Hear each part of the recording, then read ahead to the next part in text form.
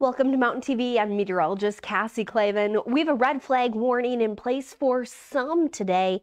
Thanks to some dry, breezy conditions. We'll go into detail on that in just a minute. Also, some heat concerns as temperatures are expected to be quite warm today. And then, of course, showers and storms. They are in the forecast as we head into the next couple of days. But let's talk first about this red flag warning that we have in place for the west into the southwestern portion of the state we are expecting dry, warm, breezy conditions. We're talking winds gusting up to about 45 miles per hour at times as we head into the day today.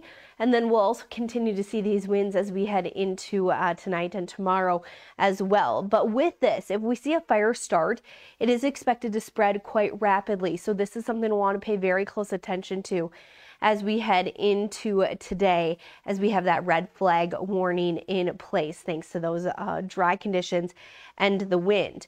We also have heat concerns in place, heat advisory in place for areas in the south into the southeast corner of the state. It is going to be warm. If you are in one of these areas, make sure that you're drinking plenty of water limit your time outside if at all possible uh, and make sure if you are outside you're taking frequent breaks in the air conditioning as we are going to be dealing with this heat. So a lot going on heading into our day today. Let's take a look at some of the temperatures we're expecting. Pueblo at 100 degrees for our high temp today. Denver at 90, Steamboat at 79 degrees.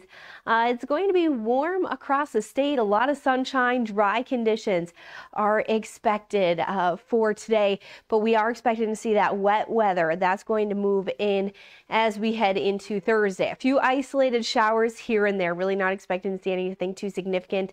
Then a few more showers, thunderstorms possible as we head into the day Thursday, uh, and then potentially seeing these late Thursday into Friday as well. So we'll be keeping an eye on that. Denver looking at picking up just about a half an inch of rain when things are all said and done. Some of the heaviest of the rain in areas of the northeast.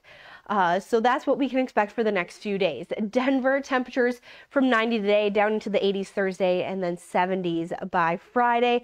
Some unsettled conditions sticking around for the weekend. Steamboat Springs, best chance it's going to be Friday for those showers and thunderstorms out there.